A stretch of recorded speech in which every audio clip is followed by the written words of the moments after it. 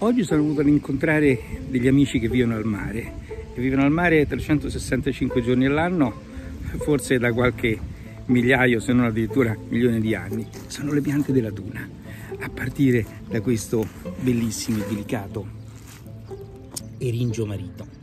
L'eringio marino ha foglie spinose e ha una fioritura particolare che attira moltissimo gli insetti, insetti che frequentano questo ambiente così difficile, costiero. Questo invece è il profumatissimo finocchio di mare che forma questi grandi cuscini verdi.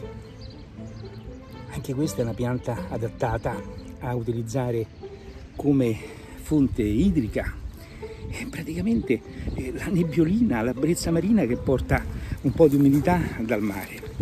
E queste piante devono affrontare adesso il periodo più difficile della loro esistenza, quello in cui gli uomini vanno al mare, vanno al mare e naturalmente per godere di queste giornate piantano ombrelloni, mettono sedie, stendono teli, tolgono quelle che pensano siano erbacce, invece sono le piante più belle in assoluto, quelle che sfidano ogni elemento della natura avverso per regalarci queste fioriture magnifiche.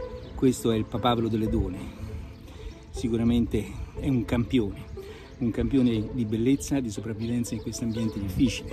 Teniamolo presente insegniamolo a tutte le persone che frequentano gli ambienti costieri che questo è un periodo difficile per queste piante e dobbiamo aiutarle a sopravvivere.